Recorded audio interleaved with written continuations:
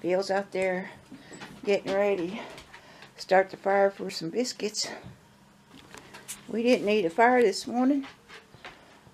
It's 65 out.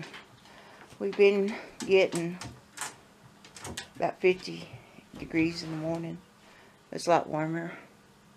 So he decided to go ahead and cook out. And I can't wait. I've been wanting some biscuits for quite a while. He gets that fire going. I'll go out there and sit around the fire.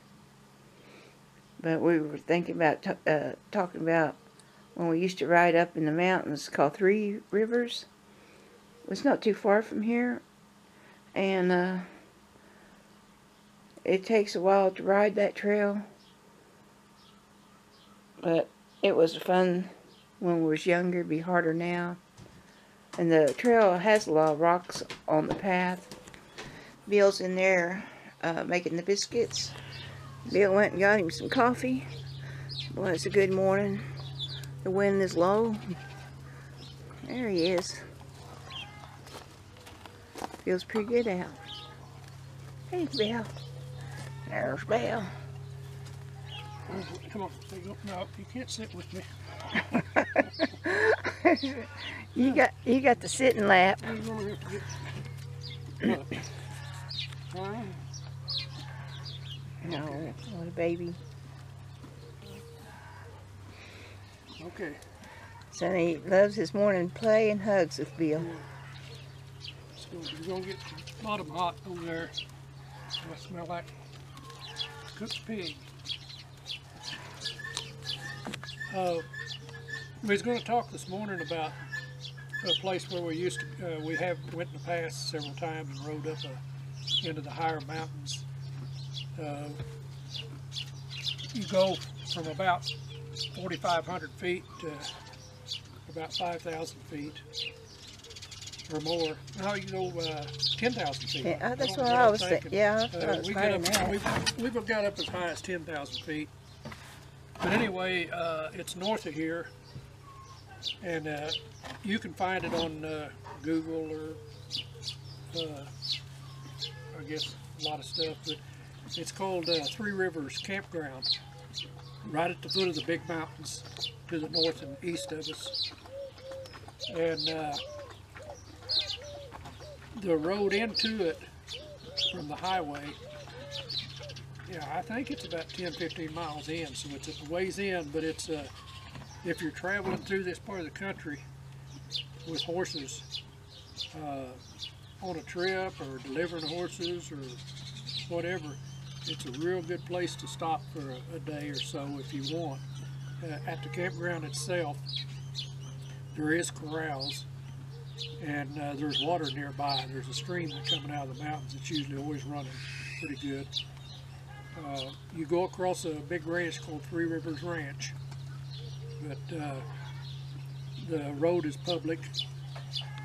And uh, nowadays, I think they even have a campground host.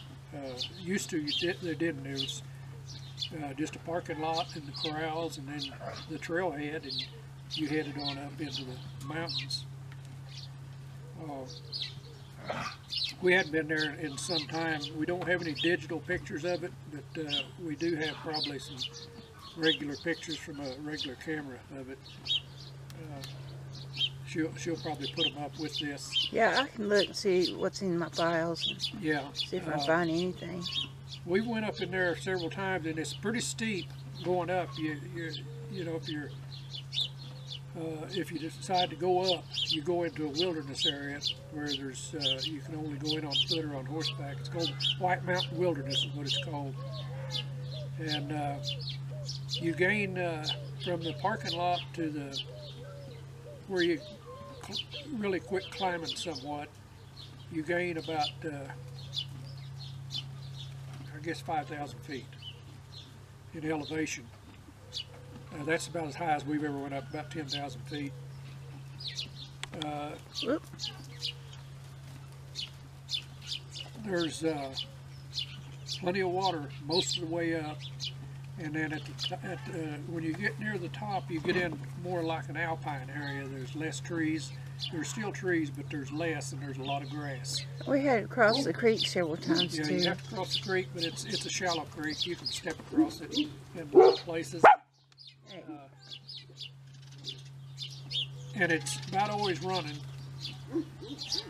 Uh, there's a petroglyph site before you get to that that a lot of people go to. It's uh, where there's a lot of old uh, uh, uh, Indian peckings where they made designs in the rocks. I think there's thousands of yeah, them drawings. thousands of them, and a lot of people stop there. But uh, to get to the campground, you got to go in farther into the mountains, and, and it's a good layover if you're traveling with horses. Uh,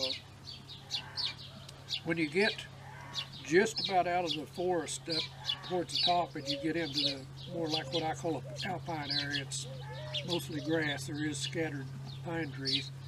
You start uh, switchbacks getting up. It's the last uh, part that's real steep, so it's it's just switchback back and forth uh, for the last uh, probably 500 feet or so, maybe more. You come up to a saddle called Elk Ridge, and it's all grassy. There's there's higher mountains above that.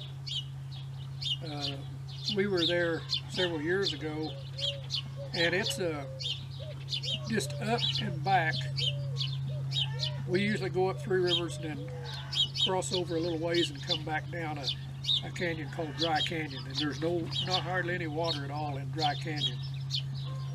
Uh, but there's a lot of water in Three Rivers Canyon. You can just backtrack back down Three Rivers Canyon too if you want. Yeah, but Dry Canyon got washed out.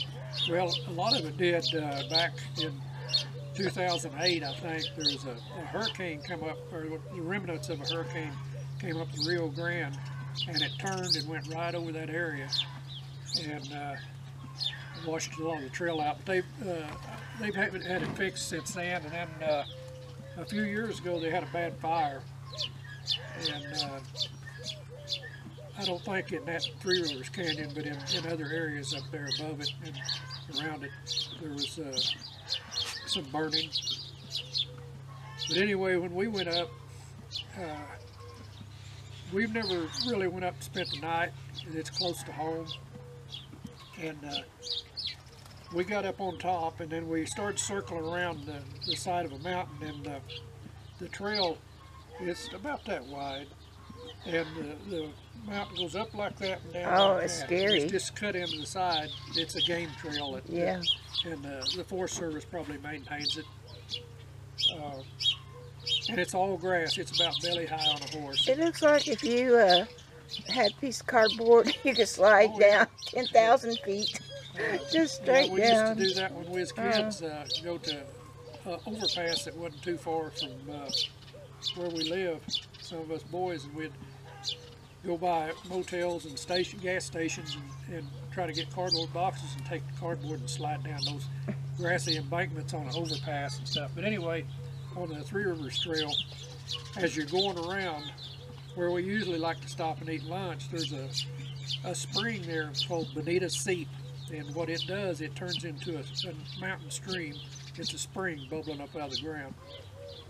And it feeds that stream all the way down to a, a lake called Bonita Lake. And it's, uh, it's a reservoir. Uh, it's a good sized lake for this part of the country. But it uh, feeds water to a, a town south of here, way south of here. But anyway, we, we were going around towards that and we were going to stop there because uh, it's in a, a, a meadow and the horses, uh, you just turn them loose. Well, they're tired by that time anyway. Well, you know, we went up there one time, and that grass was so tall. I was sitting on my horse, and that grass come up to my knees. Yeah, yeah, that's right. It was, uh, it, And- they get a lot, it, it's, uh, And they didn't even have to bend their head down No, to eat grass. they'll stay there for a long time grazing. But anyway, we were going around, we were heading around to it, around the side of a mountain that was just grass and, and the trail going through it. And uh, way to the east of there, there's a oh, an area where there's outfitters and they take uh, tourists on rides. And back in that wilderness area, well, we came around the side of a mountain. We hadn't seen anybody all day, and uh, our, our horses got jumpy, but here come a, I think it was about five or six tourists on mules. Yeah. And a, and a guide. Yeah. And uh, I don't Small know- mules. Small mules. Yeah, they were they're small mules. They're not like them big Missouri mules. They're more like 14 hands, 13, 14 hands. Just but- above the donkeys. yeah, they're just above the donkeys, but they will carry a heavy load, and they're good for that kind of stuff. And uh, my horse just went crazy. I was on a big Oh old my gosh, it was so scary. long-legged gelding, and it was he Big- never he never fell, Red. but he started bucking. And we went up a little ways, and then we go down a little ways, and I was trying to get him under control. And uh, finally, I got him back on the trail, and he stopped. And those tourists looked like they were going to die of fright. They just Their eyes got big. they probably, I'm scared too. I know.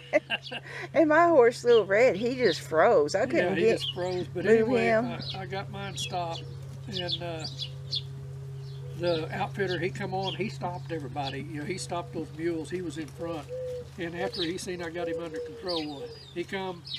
And those mules come at me, and then they just stepped around me on the high side, every one of them. And the tourists, uh, they're probably still talking about that, they, because it was steep. It was real steep. Real Uh, steep. I don't know how my horse kept his feet. I know. I thought he was gonna fall over. Uh, anyway, they, they were heading back to the to the settlement where the outfitter lived, and uh, we went on about our way, and we went down to, uh, and then you start dropping down a little bit into a meadow, and that's where the Bonita Seep is at, or Bonita Spring, if you want to call it that.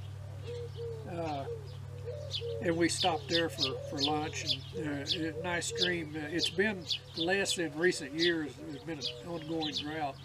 I don't know what it is now because we've we've had a couple of pretty good winters, Yeah. and, uh, so it might be going again.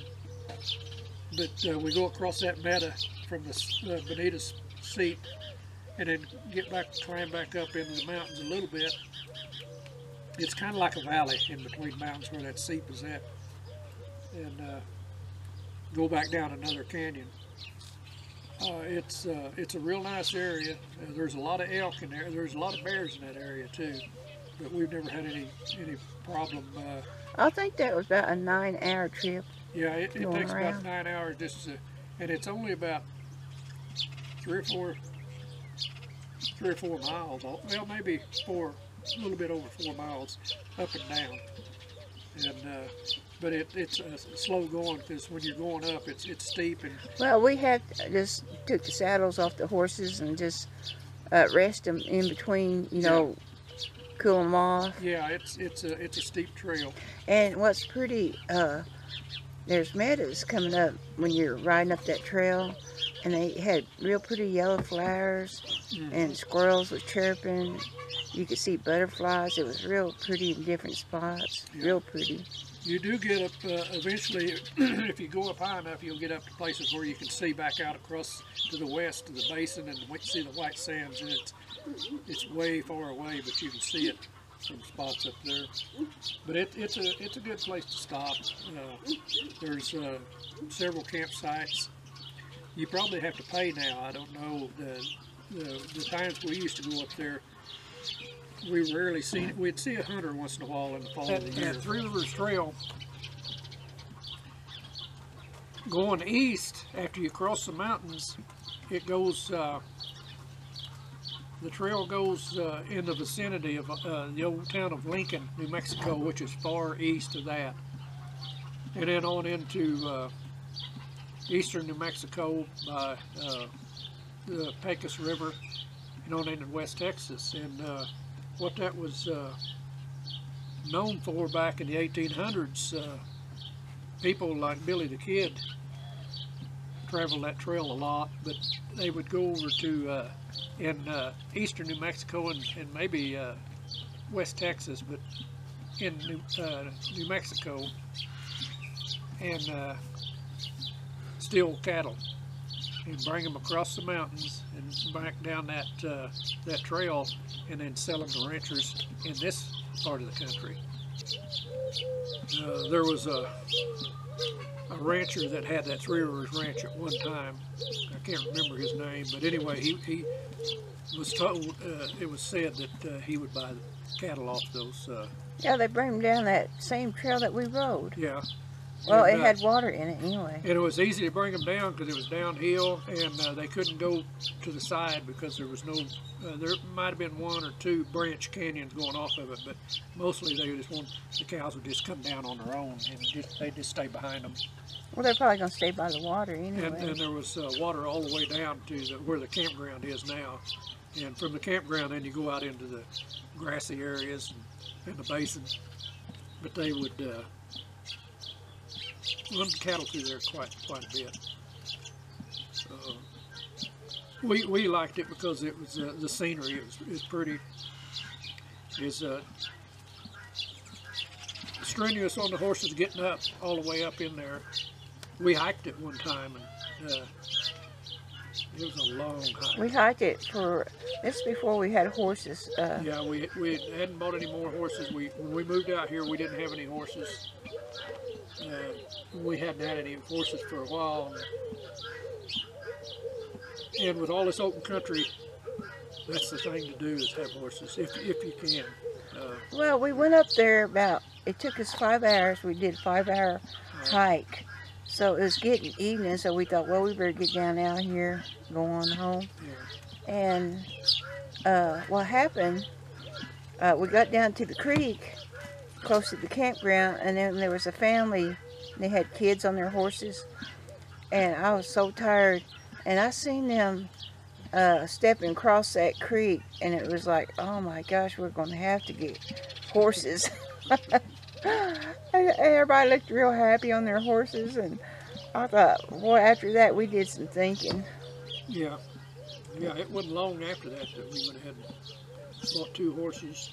Uh, we'd had horses before, but when we moved out here, we we had we sold motorcycles. We had we didn't want to bring the motorcycles out here, and we had some dirt bikes. We got rid of them. and We didn't have the horses anymore.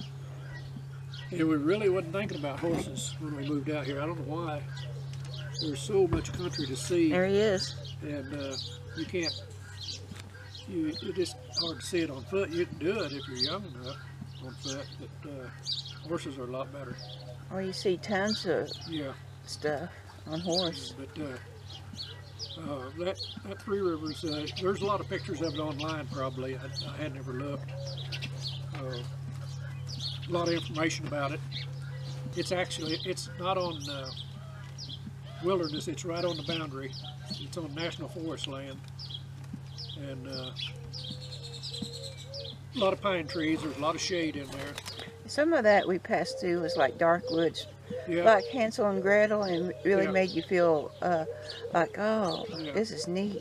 yeah. It, uh, it didn't look like any of it had ever been logged in that canyon. It, it's probably just too steep to Yeah, uh, not worth the effort back a long time ago and and uh, uh, it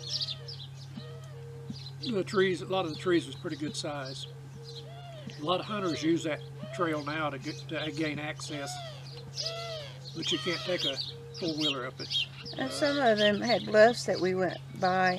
You looked up and by keep an eye, make sure no mountain lion was up there. yeah we never seen any up in there uh, but I'm sure there was. and at that time we uh, we hardly took dogs with us I don't think Yeah, I had a, a little poodle poodle on my backpack. Her name was Holly. she would go so many places with us, just looking off that backpack. on the back of a horse Yeah, on the back of the horse. She just loved to go. That was fun. Yeah, but anyway, that's the story about Three Rivers. Anybody traveling through this part of the country uh, with horses, or you know, if you're just traveling through with a motorhome, it, it's a good ways off the highway. Uh, the road is pretty good going in there. It's just a great gravel dirt road, and you do cross the you do cross that stream one time as it comes out into the basin, but it's it's not ever very deep. You know, you can Cross it, uh, yeah. It's a low water crossing. And uh, Well, I mean, if you're a hiker, you would like it. yeah, it, it'd be perfect for hikers. It's uh, especially because of the water. Yeah. Once you get, when you get up there pretty high, you get away from the water. And uh, you won't get any, run into any again until you go over and head back down going east, you'll run into uh, springs and streams. They're heading towards that. There's a lake east of there. They call Bonita Lake. And uh, a lot of people fish in that lake. And a lot of people camp around it. There's campgrounds around here, but that's, that's quite a ways from there. But, uh, One time we was going up that uh, creek and there was a hollow log and the bark was all peeled off of it and it was just perfect for an Indian drum.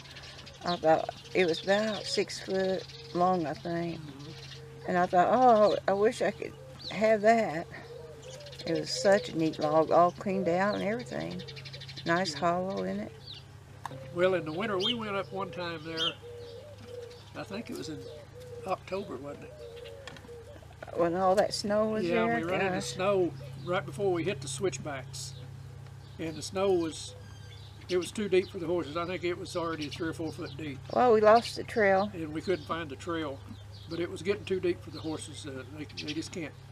If if there's not a trail broke through there, they can't get through that snow.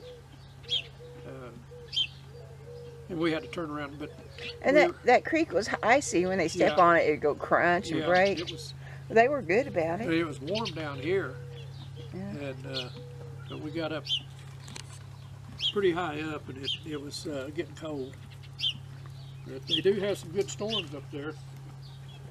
Somebody's getting my kindling. Yeah. But anyway, that's the story of Three Rivers. If Yeah, if I can find any pictures on, I'll put them up. yeah,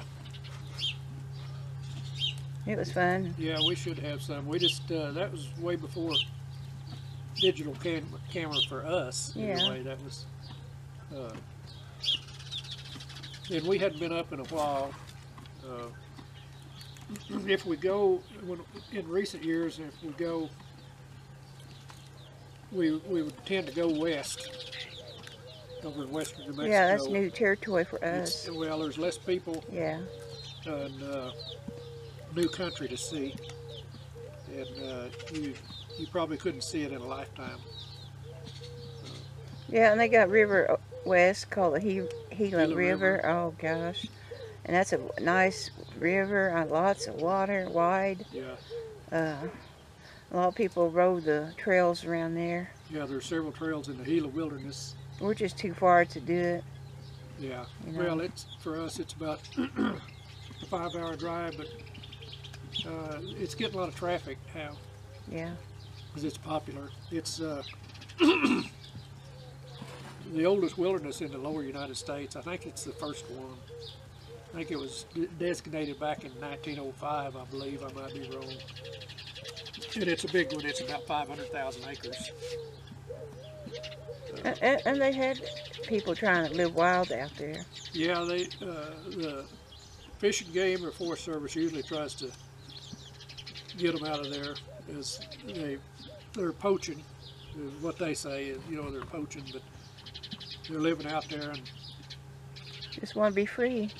yeah, but that's against the law. Don't eat the animals. Yeah. Yeah. And, uh, they they several years ago they there was a guy back in there somewhere and they finally uh, caught him but he had lived back in that wilderness area for a long time and just kind of stayed away from people Oh, there's a yellow cat over there by the Oh, fence. okay. Yeah. maybe he'll get some mice. Yeah, he's just walking down the by the fence. I think uh, Gus is Uh-oh. gonna go after him. Gus is upset. run, Gus will- There he goes. That's an intruder Yeah. But anyway, this guy, uh, he actually took a small family, a woman with some kids, and you know they joined him in there. But that's just that's rough life for uh, uh, little kids. It's cold. Uh, it's all wild game that they eat. But this this guy, he he managed in there for I think a couple of years off and on. And they finally uh, arrested him. Oh, Ben, Ben sees the cat. in jail or prison over in Arizona somewhere in a federal prison. Uh, then finally he got out.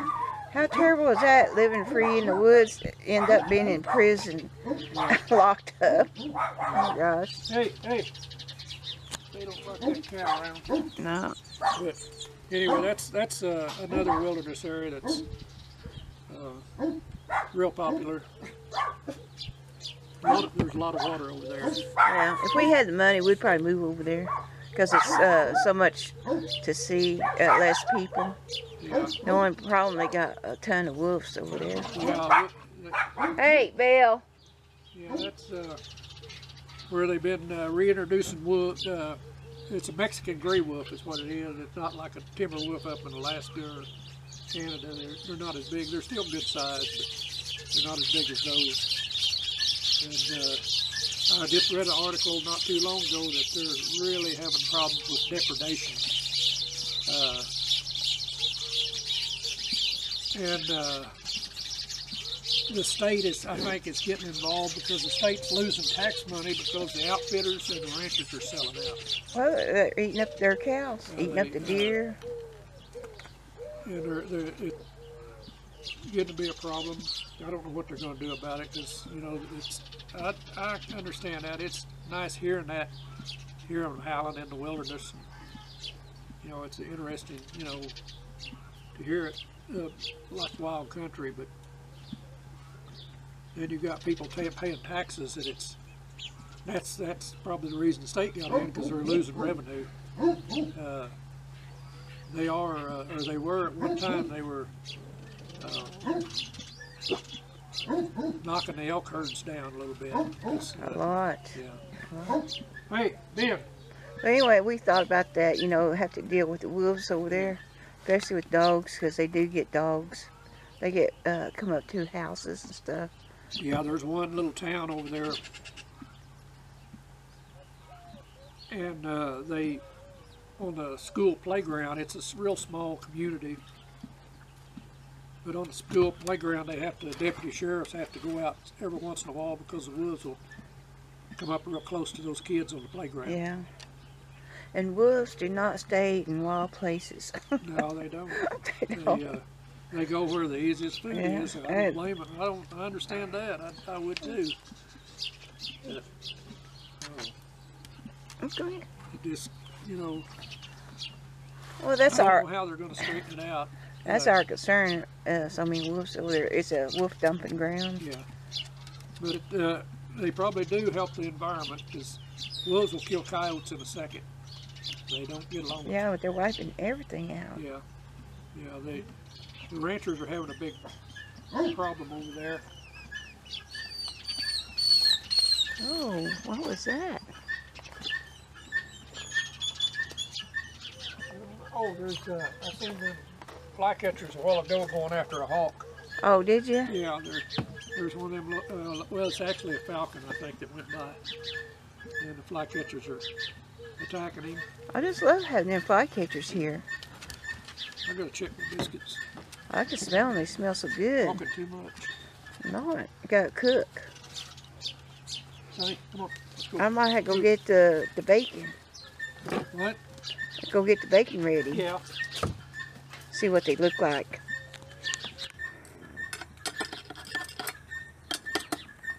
It don't ever hurt. It don't hurt to get a little ashes in your biscuits. That, Oh, yeah. that's minerals. Yeah, minerals. Well, they're puffed up, but they're, they still need to cook. I need to put some more coals on them. Well, Sonny's going to have to learn not lay by the wood heater. I don't know if he wants to be by Bill or by the biscuits. I'm sure he's going to get hot pretty soon. Oh, his ear's twitching. Sonny, come on, you're gonna get. Come on, let's go. Sonny, Come on, get, come on, Sonny, up, up, up. Go Sonny. on, Come here. go on. There you go. Yeah, his ears are getting hot. Yeah, There you go. but the, the biscuits and bacon smell so good. Maybe that's why he wants to be around the bacon and biscuits. There you go, bud. He needs to boost that fire up, so getting some twigs, get it going.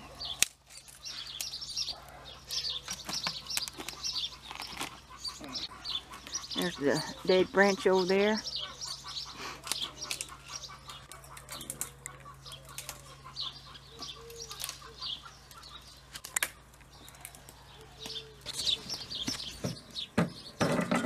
Yeah, it's going good now. Get that bacon cooked. Looks like the fire did the trick. Really got the bacon cooked. Mmm, smells so good. Bill's taking that in. Yeah, it's hot. Uh, so I can go make gravy. I appreciate everybody watching from Out West Homestead. Bye. Now everybody's gonna go with the bacon. And Sonny knows about bacon grease.